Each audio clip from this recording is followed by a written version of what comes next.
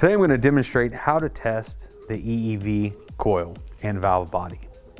First, you want to make sure power has been removed from your unit for at least 15 minutes. So first thing you're going to want to do after you've had the unit powered off for 15 minutes is you're going to unplug the EEV plug. Once you've got the harness unhooked, you're going to turn your meter on to ohms. Now, the first test you're going to do, which is testing half the EEV coil, is you're going to go from the blue wire to every wire on there. You should be getting a reading of 46 ohms plus or minus 10% at 68 degrees. Note that if temperature increases or decreases, you will have a little variance. There's blue to black,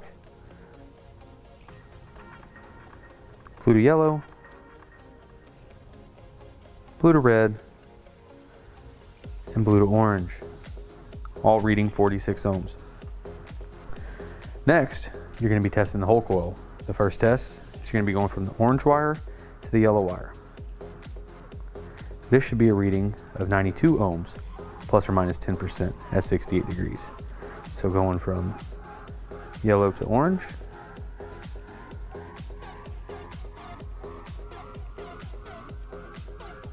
Ninety-two point seven. Now you'll be going red to black, looking for the same readings. 92 ohms. That is how you test the EEV coil. Now, to test the valve body, we have removed an EEV from a unit to demonstrate this. This is your valve body.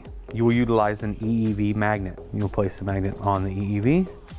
You'll spin it one way to drive it open, the other way to drive it closed. You should feel resistance and drag on the magnet.